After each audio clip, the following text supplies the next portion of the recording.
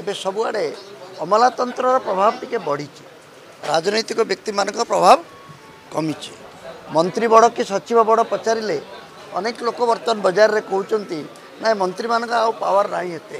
ସଚିବମାନେ ତାଙ୍କଠାରୁ ବଡ଼। ଏକଥା କ'ଣ କିଏ ଅସ୍ୱୀକାର କରିବେ? କିନ୍ତୁ କହିବା ପାଇଁ ସାହସ ହେଉନି କାହାର।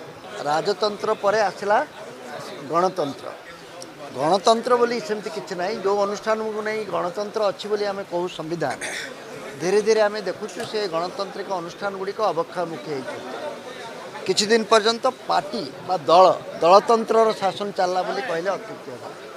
ପାର୍ଟି ସବୁକିଛିକୁ ନିଷ୍ପତ୍ତି ନେଉଛି ତେଣୁ ପାର୍ଟି କେନ୍ଦ୍ରିକ ପାର୍ଟିର ନେତା ପାର୍ଟିର ପଇସା ପାର୍ଟିର ଚିହ୍ନ ପାର୍ଟିର ପ୍ରଚାର ଢଙ୍ଗ ଏସବୁ ରାଜନୈତିକ ନିଷ୍ପତ୍ତିକୁ ନିର୍ଣ୍ଣାୟକ କଲା। ଏବେ ଯଦି କେହି ପଚାରିବ ଏବେ ସବୁଆଡ଼େ ଅମଲାତନ୍ତ୍ରର ପ୍ରଭାବ ଟିକେ ବଢ଼ିଛି। ରାଜନୈତିକ ବ୍ୟକ୍ତିମାନଙ୍କ ପ୍ରଭାବ କମିଛି। ମନ୍ତ୍ରୀ ବଡ଼ କି ସଚିବ ବଡ଼ ପଚାରିଲେ ଅନେକ ଲୋକ ବର୍ତ୍ତମାନ ବଜାରରେ କହୁଛନ୍ତି ନାଇଁ ମନ୍ତ୍ରୀମାନଙ୍କ ଆଉ ପାୱାର ନାହିଁ ଏତେ। ସଚିବମାନେ ତାଙ୍କଠାରୁ ବଡ଼। ଏକଥା କ'ଣ କିଏ ଅସ୍ୱୀକାର କରିବେ? କିନ୍ତୁ କହିବା ପାଇଁ ସାହସ ହେଉନି କାହାର ଏବେ ସବୁଆଡ଼େ ଅମଲାତନ୍ତ୍ରର ପ୍ରଭାବ ଟିକେ ବଢ଼ିଛି। ରାଜନୈତିକ ବ୍ୟକ୍ତିମାନଙ୍କ ପ୍ରଭାବ କମିଛି। ମନ୍ତ୍ରୀ ବଡ଼ କି ସଚିବ ବଡ଼ ପଚାରିଲେ ଅନେକ ଲୋକ ବର୍ତ୍ତମାନ ବଜାରରେ କହୁଛନ୍ତି ନାଇଁ ମନ୍ତ୍ରୀମାନଙ୍କ ଆଉ ପାୱାର ନାହିଁ ଏତେ। ସଚିବମାନେ ତାଙ୍କଠାରୁ ବଡ଼। ଏକଥା କ'ଣ କିଏ ଅସ୍ୱୀକାର କରିବେ? କିନ୍ତୁ କହିବା ପାଇଁ ସାହସ ହେଉନି। କାହାର ରାଜତନ୍ତ୍ର ପରେ ଆସିଲା ଗଣତନ୍ତ୍ର। ଗଣତନ୍ତ୍ର ବୋଲି ସେମିତି କିଛି ନାହିଁ। ଯେଉଁ ଅନୁଷ୍ଠାନକୁ ନେଇ ଗଣତନ୍ତ୍ର ଅଛି ବୋଲି ଆମେ କହୁ ସମ୍ବିଧାନ ଧୀରେ ଧୀରେ ଆମେ ଦେଖୁଛୁ ସେ ଗଣତାନ୍ତ୍ରିକ ଅନୁଷ୍ଠାନ ଗୁଡ଼ିକ ଅବକ୍ଷାମୁଖୀ ହେଇଛନ୍ତି କିଛି ଦିନ ପର୍ଯ୍ୟନ୍ତ ପାର୍ଟି ବା ଦଳ ଦଳତନ୍ତ୍ରର ଶାସନ ଚାଲିଲା ବୋଲି କହିଲେ ଅତ୍ୟୁକ୍ତି ହେବ। ପାର୍ଟି ସବୁକିଛିକୁ ନିଷ୍ପତ୍ତି ନେଉଛି।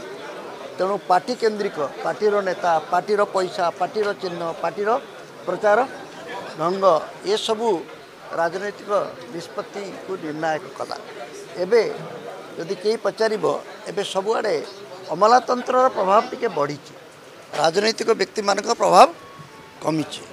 ମନ୍ତ୍ରୀ ବଡ଼ କି ସଚିବ ବଡ଼ ପଚାରିଲେ ଅନେକ ଲୋକ ବର୍ତ୍ତମାନ ବଜାରରେ କହୁଛନ୍ତି ନାଇଁ ମନ୍ତ୍ରୀମାନଙ୍କ ଆଉ ପାୱାର ନାହିଁ ଏତେ। ସଚିବମାନେ ତାଙ୍କଠାରୁ ବଡ଼। ଏକଥା କ'ଣ କିଏ ଅସ୍ୱୀକାର କରିବେ? କିନ୍ତୁ କହିବା ପାଇଁ ସାହସ ହେଉନି କାହାର ଏବେ ସବୁଆଡ଼େ ଅମଲାତନ୍ତ୍ରର ପ୍ରଭାବ ଟିକେ ବଢ଼ିଛି।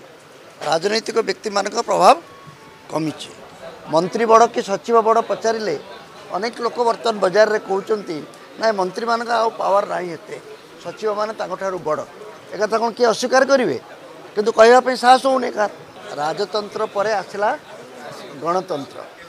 ଗଣତନ୍ତ୍ର ବୋଲି ସେମିତି କିଛି ନାହିଁ। ଯେଉଁ ଅନୁଷ୍ଠାନକୁ ନେଇ ଗଣତନ୍ତ୍ର ଅଛି ବୋଲି ଆମେ କହୁ ସମ୍ବିଧାନ ଧୀରେ ଧୀରେ ଆମେ ଦେଖୁଛୁ ସେ ଗଣତାନ୍ତ୍ରିକ ଅନୁଷ୍ଠାନ ଗୁଡ଼ିକ ଅବକ୍ଷାମୁଖୀ ହେଇଛନ୍ତି କିଛି ଦିନ ପର୍ଯ୍ୟନ୍ତ ପାର୍ଟି ବା ଦଳ ଦଳତନ୍ତ୍ରର ଶାସନ ଚାଲିଲା ବୋଲି କହିଲେ ଅତ୍ୟୁକ୍ତି ହେବ ପାର୍ଟି ସବୁକିଛିକୁ ନିଷ୍ପତ୍ତି ନେଉଛି।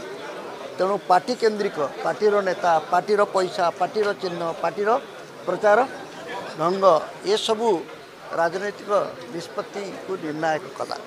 ଏବେ ଯଦି କେହି ପଚାରିବ ଏବେ ସବୁଆଡ଼େ ଅମଲାତନ୍ତ୍ରର ପ୍ରଭାବ ଟିକେ ବଢ଼ିଛି। ରାଜନୈତିକ ବ୍ୟକ୍ତିମାନଙ୍କ ପ୍ରଭାବ କମିଛି। ମନ୍ତ୍ରୀ ବଡ଼ କି ସଚିବ ବଡ଼ ପଚାରିଲେ ଅନେକ ଲୋକ ବର୍ତ୍ତମାନ ବଜାରରେ କହୁଛନ୍ତି ନାଇଁ ମନ୍ତ୍ରୀମାନଙ୍କ ଆଉ ପାୱାର ନାହିଁ ଏତେ। ସଚିବମାନେ ତାଙ୍କଠାରୁ ବଡ଼। ଏକଥା କ'ଣ କିଏ ଅସ୍ୱୀକାର କରିବେ? କିନ୍ତୁ କହିବା ପାଇଁ ସାହସ ହେଉନି କାହାର।